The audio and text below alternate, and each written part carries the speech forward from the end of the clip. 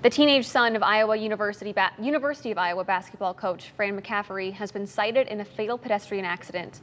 Iowa City police say back in May, 16-year-old Jonathan McCaffery struck 45-year-old National Guardsman Corey Hite as he was jogging. Hite died two weeks later. Now, Jonathan has been cited with failure to yield. In Iowa, that's a simple misdemeanor punishable by a $1,000 fine, 180 days with a suspended license, or both.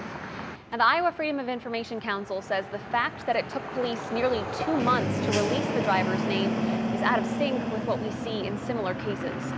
I think the the lack of uh, any uh, public reporting of that led to suspicions or uh, innuendo or or just rumors that it was his father's connection in the community that kept it all confidential. And Margaret McCaffery released a statement on the crash, saying investigators told them it was an unavoidable accident with no evidence to suggest distracted driving, and that another driver waved the jogger through the intersection when their son hit him.